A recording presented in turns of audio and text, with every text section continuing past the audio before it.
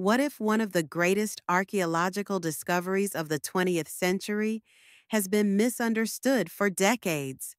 What if the Dead Sea Scrolls, instead of being the product of a single secretive sect, were actually the voices of an entire people priests, scribes, rebels, and visionaries, desperately preserving their culture before it vanished?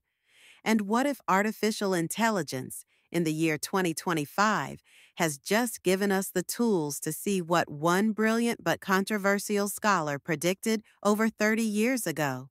In 1947, a young Bedouin shepherd tossed a stone into a cave near Qumran and heard the sound of breaking pottery.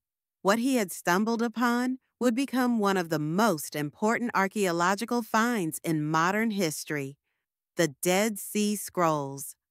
Over the next decade, archaeologists uncovered tens of thousands of fragments, representing nearly a thousand manuscripts. They contained some of the oldest known biblical texts, alongside sectarian writings, hymns, calendars, and apocalyptic visions. From the beginning, scholars wrestled with the same question Who wrote these scrolls, and why were they hidden here? The dominant theory, promoted for decades, pointed to a small Jewish sect known as the Essenes, who supposedly lived in the nearby settlement of Qumran. According to this view, the scrolls were the library of a religious community that deliberately withdrew from the chaos of Judea. But in 2025, a breakthrough study began to crack open this narrative. Dutch researchers unveiled ENOCH, an advanced AI system trained to analyze handwriting styles and compare them with radiocarbon dating. What Enoch found was startling. Texts once thought to have been written in different centuries in the so called Hasmonean and Herodian scripts actually overlapped in time, that means scribes using different styles were active simultaneously, suggesting multiple sources and multiple communities. Even more surprising, carbon dating revealed that some manuscripts, like fragments of the Book of Daniel, might be closer in age to the events they describe than anyone had imagined. In other words, parts of the scrolls could be eyewitness level, not centuries later copies. For many, this was groundbreaking news, but for those familiar with the work of Professor Norman Golb from the University of Chicago, it sounded like vindication. Back in the 1980s and 1990s, Golb challenged the orthodoxy. He argued that the scrolls weren't the product of a single group like the Essenes, but a collection of manuscripts from across Judea, from Jerusalem libraries, priestly circles, and various Jewish sects. In Golb's reconstruction, the scrolls were hidden in caves during the Jewish revolt against Rome around 70 CE, as Jerusalem was burning and the temple was destroyed. The caves of Qumran became emergency vaults, not the private library of an isolated sect. For decades, Golb's theory was dismissed by many as fringe or even heretical in the world of biblical scholarship. Yet his central claim, that the scrolls were diverse in origin, is exactly what new AI driven analysis now seems to suggest.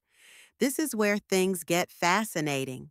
AI isn't just redating manuscripts, it's dismantling the illusion of uniformity. Enoch can detect subtle variations in handwriting invisible to the human eye, revealing multiple scribes working in different traditions. When you combine that with the overlapping dating, the picture is clear. The Dead Sea Scrolls were not the singular voice of a marginal sect, but a chorus of voices. They represent a broad cross section of Jewish thought biblical, sectarian, mystical, and revolutionary gathered together in a time of crisis. This is exactly what Golb envisioned not Essenes in the desert, but communities across Judea pooling their texts for survival. But what does this mean for us today?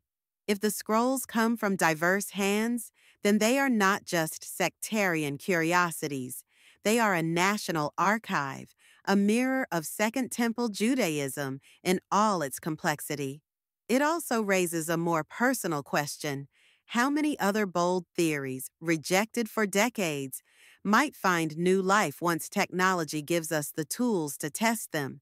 How much of our past has been shaped not by evidence, but by scholarly consensus, and how quickly that consensus can shift?